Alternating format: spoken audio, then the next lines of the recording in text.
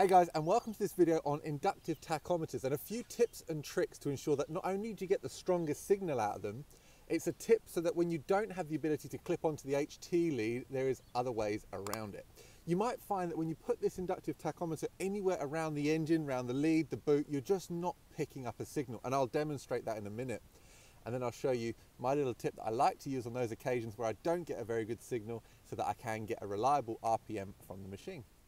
So this is my Stihl EDT9 tach. I've got a couple of them. This one doesn't have a very strong inductive signal. It doesn't pick up very well from the HT lead or the surrounding areas. And ideally, the alternative is to then clip it on. You have the little uh, wire that you can clip onto the spark plug lead, but the problem is I can't get to it from here. I can't clip it onto here, and the rest of it's covered in cowling. I can't take the cowling off because that's where the recoil is, so you're kind of a bit stuck. Let me show you what I mean in terms of just the fact that it won't give me a reading.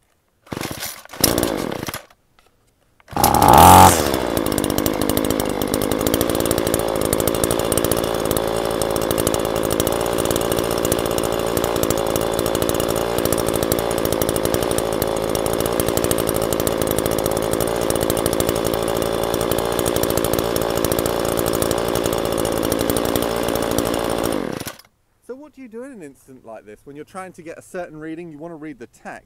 Well, the only way I've found to get a reliable reading is pop the boot off, get yourself your inline spark tester. It doesn't have to be this one, this just so happens to be Opima. Plug that on, connect yourself in place here, start the machine up, and then use this wire to get your reading, and you will see you will get about a foot of uh, inductive reading from that cable. And if you haven't got an inductive tachometer, you can just clip your lead to that wire there and you'll get a perfect reading. Let me just tilt that forward so you can see. And I'll hold the tach somewhere over here and you'll see that it still gives me a fantastic reading.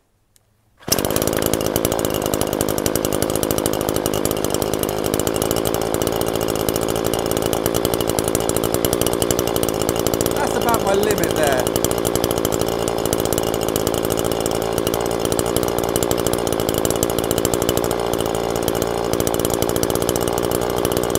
So wherever I am, within the vicinity of the engine, I'm still going to pick up that reading.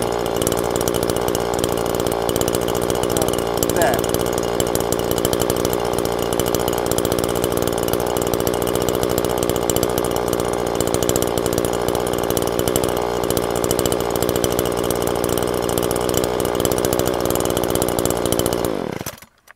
So let me just show you now without the inline spark tester there.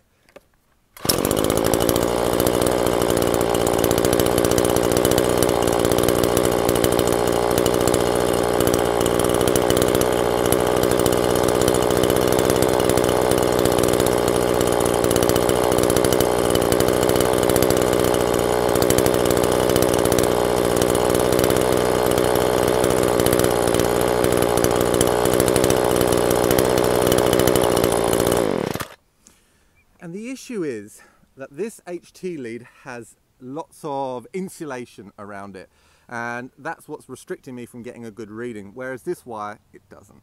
The wire actually runs very close to the housing. It runs along here, down here and then about at this point it will go down to that coil so it's not as if it's miles away. It's just very insulated but though again if it is a little way away that can make it tricky too.